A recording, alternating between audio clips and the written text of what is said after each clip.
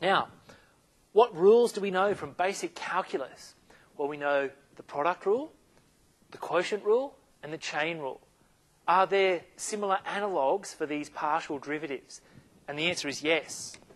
So if we have two functions, u and v, both of both are functions of two variables, then we have the following product rules. Remember where the subscripts are partial derivatives.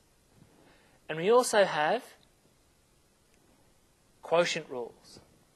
Okay, so it's not a massive leap from the basic calculus that you know, the product rules, quotient rules, to these partial derivatives. Okay, and of course these things are designed to, to help you in your calculations of partial derivatives.